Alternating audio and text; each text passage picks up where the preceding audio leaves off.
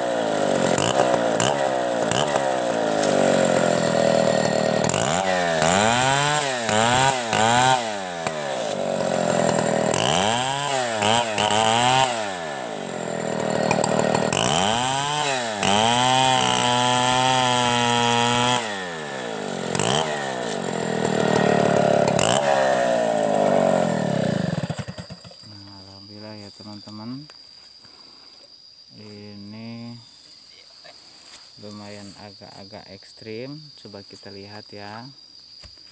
Ini medannya rada agak lumayan kemiringan kurang lebih 70 derajat ya teman-teman ini. Ini lokasi di Marga Jaya Kabupaten Pangandaran Jawa Barat ya teman-teman. Ini proses. Proses ini pengganjalan supaya tidak menyentuh tanah